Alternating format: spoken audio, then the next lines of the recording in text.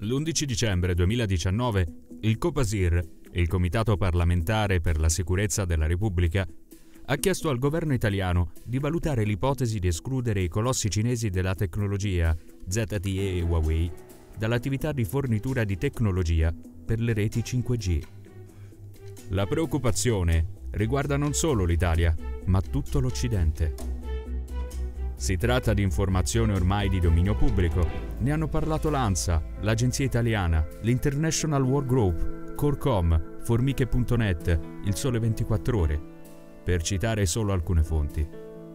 Ma prima di tutto chiariamo che cosa significa 5G. Il 5G è una tecnologia di telecomunicazione cellulare a dir poco rivoluzionaria.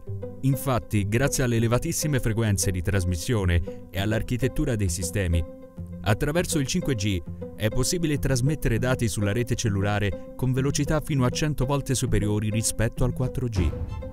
Per scaricare un film, ad esempio, col 5G basterebbero pochi secondi. Importante è anche la densità, Col 5G è possibile collegare fra loro fino a un milione di dispositivi per chilometro quadrato. Col 4G si arrivava massimo a 10.000 per chilometro quadrato.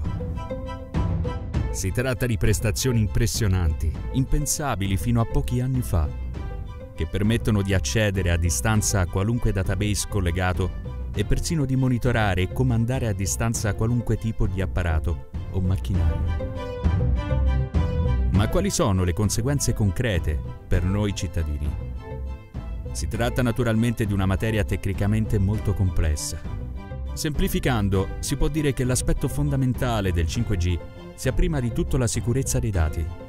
Per sua natura il 5G permette una sicurezza molto maggiore o molto minore rispetto alle vecchie tecnologie. In pratica, un fornitore affidabile di tecnologia 5G costruirà una rete super sicura mentre un fornitore non affidabile installerà dei sistemi con delle porte di accesso segrete, delle quali solo lui è a conoscenza e che potrà usare a piacimento per accedere sia ai dispositivi che alle banche dati degli utenti.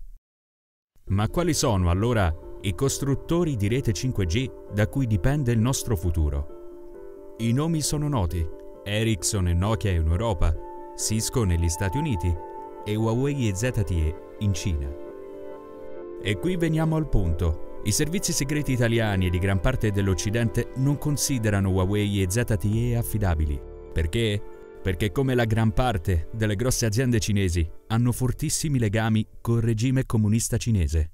Tradotto, se il regime cinese volesse ad esempio accedere ai dati finanziari riservati, a delle cartelle cliniche o a delle informazioni militari di una nazione in cui è installata una rete 5G di un'azienda cinese, è molto probabile che potrebbe farlo senza difficoltà.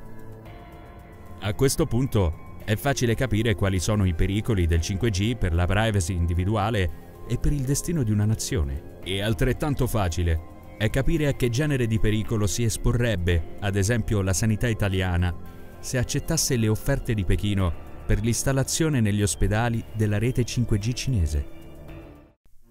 Insomma, è cruciale che il 5G sia installato da aziende affidabili e alleate, perché tutto nelle nostre vite ormai dipende dall'informatica. Affidarsi alla Cina per il 5G significherebbe rischiare di finire sotto il totale controllo di un regime dittatoriale e criminale che rappresenta la più grave minaccia per il futuro dell'umanità alla prossima puntata. Lascia un commento e iscriviti al nostro canale.